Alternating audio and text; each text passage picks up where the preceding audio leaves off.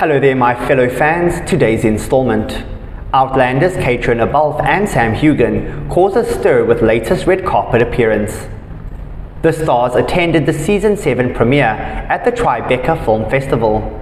The stars of Outlander were out in force on Friday as they attended the season 7 premiere of the hit show at the Tribeca Film Festival in New York City. Leading the glamorous arrivals at the BMCC Theatre were Caitriona Balfe and Sophie Skelton, who both stand on the red carpet in gorgeous floor-sweeping gowns. Caitriona, who plays Claire Fraser, looked beautiful in a pleated black dress that featured a mesh overlay that exposed a hint of her torso. The 43-year-old added a pop of colour with a bold red lip and matching clutch. Sophie, meanwhile, who plays Claire and Jamie Fraser's daughter Brianna, grabbed attention in a bright pink dress that boasted a strapless design, cut out back, and a dramatic train. The 29-year-old's usual dark hair had been dyed blonde, and she wore it in a chic updo with minimal makeup, letting her natural, radiant beauty shine. The duo was of course joined by leading man Sam Heughan, who plays Jamie Fraser, and he looked dapper in a dark blue suit and black shirt. The on-screen family posed up a storm on the red carpet, where they were joined by their fellow co-stars David Berry, Izzy Small, Joey Phillips, Richard Rankin, and Charles van der Vaart.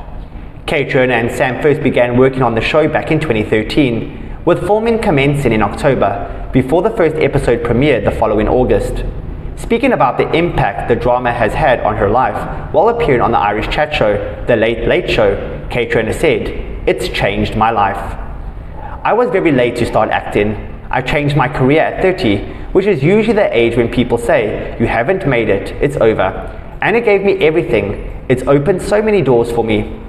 This job, it's a joy. I've worked with the same people pretty much now for 10 years. That's my gang, that's my crew. And this character, she's incredible. I've gotten to do so much and been so stretched as an actor because of who she is, she co concluded.